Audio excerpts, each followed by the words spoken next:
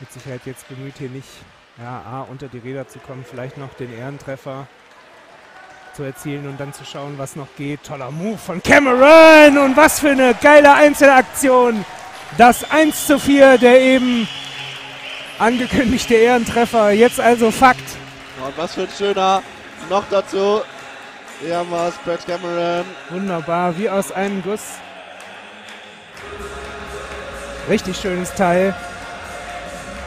Zieht hier die Scheibe kurz nach hinten auf der Rückhand, dann der Move zwischen den beiden Verteidigern durch. Flach